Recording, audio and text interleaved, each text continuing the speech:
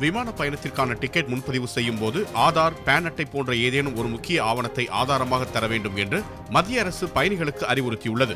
Digital பயணத்திற்கான டிஜி யாத்ரா திட்டத்தை தொடங்கி வைத்து டெல்லியில் பேசிய மத்திய விமான போக்குவரத்து துறை அமைச்சர் ஜெயந்த் சின்ஹா இன்னும் மூன்று அல்லது நான்கு மாதங்களில் இத்திட்டம் கட்டாயமாக்கப்பட்டு நடைமுறைப்படுத்த இருப்பதாக தெரிவித்துள்ளார். விமான டிக்கெட்டிற்கு பேன் ஆதார் பாஸ்போர்ட் போன்ற ஏதேனும் ஒரு அடையாள அட்டையை பயணிகள் தாக்கல் செய்ய வேண்டிய முறை அமலுக்கு வரும் என்றும் மத்திய அமைச்சர் ஜெயந்த் சின்ஹா தெரிவித்துள்ளார்.